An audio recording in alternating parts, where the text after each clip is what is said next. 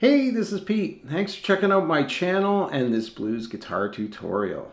So this time around I'm going to do a quick lesson in the key of G major. It's a funk R&B style groove and it follows a 12 bar blues progression. I'm using some dominant 7th chords as well as ninth chords and I'm playing in two different parts of the neck. Alright, so we'll get started with the example and then I'm going to follow it up with the tutorial.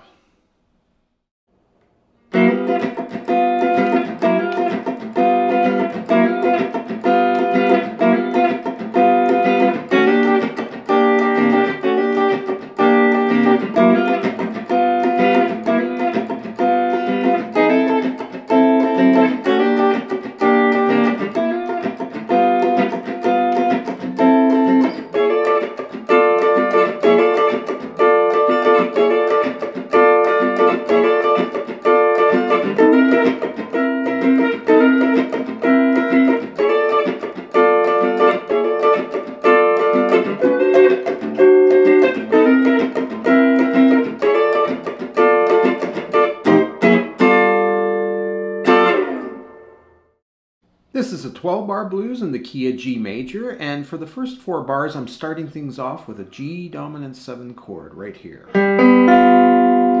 Right, so that's based off of this large bar chord. Just making it a lot smaller by utilizing the root on the D string at the 5th fret. And then my index fingers on the major third, 4th fret of the G string, and I'm using my pinky to play the flat 7, the 6th fret of the B string could use your your ring finger as well instead if that's more comfortable. So I'm sliding in on that one chord from one fret below.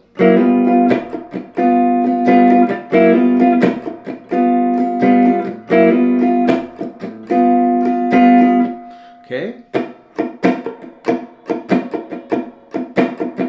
There's that strum pattern. For the four chord, Using a C9 chord with the root at the third fret on the A, A string. Right, and I'm sliding in on that chord as well.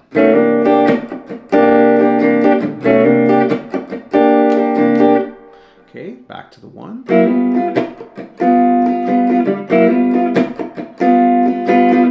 For the five chord, I'm going to be using a D9 chord. Uh, root at the fifth fret and sliding in on that uh, chord as well. It's the four.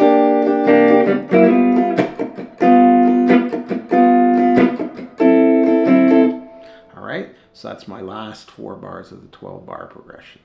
All right, so I'm using a G dominant seven chord for the one, a C9 for the four, and a D9 for the five with a bit of a funky strumming rhythm pattern.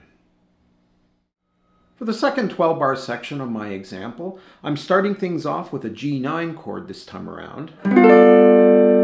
Roots at the 10th fret on the A string. And I'm sliding into that chord like this.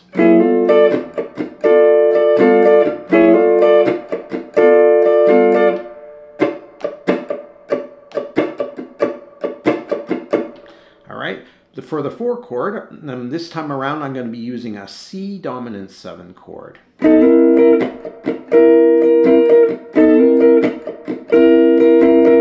Roots at the 10th fret on the D string. And I'm sliding in once again from one fret below. For the 5 chord, I'm going to be using a D dominant 7 this time around. Alright, sliding in.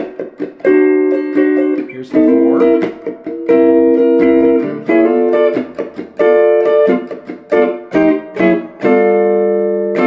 Right, into my ending. All right, so using these ninth chords and dominant seventh chords interchangeably adds for a real funky sound while still maintaining that blues 12 bar progression. So I started things off with a G dominant 7 chord the first 12 bar section. Went to a C9 and the 5 was a D9.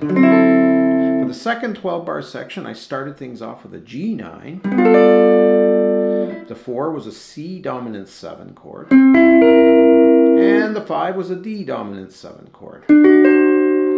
Alright, so you can mix and match those chords for a good effect.